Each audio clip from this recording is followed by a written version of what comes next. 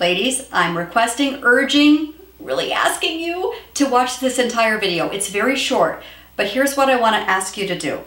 Would you consider dressing modestly? I know there's this huge instinctive female desire to be attractive to men and to show off your assets, shall we say.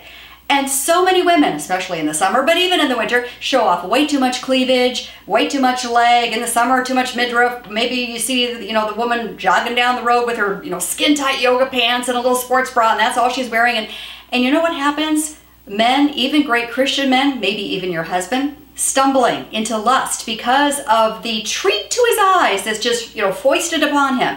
Well, how about if we all, at least as Christian women, say, you know, I'm not going to be part of that. I'm going to fight against this natural temptation to show off my assets, to be alluring to all men, to show off my physical beauty. What if we just said, you know what? I, I don't want to be the cause of another woman's husband stumbling, and I'm hoping she's not going to try to cause my husband to stumble. And besides all that, in terms of an incentive to stop showing off your physical assets, except to your husband in the bedroom, uh, here's another incentive God does not exactly have his favor resting on you when you are engaging in this. Listen to what this says in Luke 17, verse 1. Jesus said to his disciples, Things that cause people to stumble are bound to come, but woe to anyone through whom they come.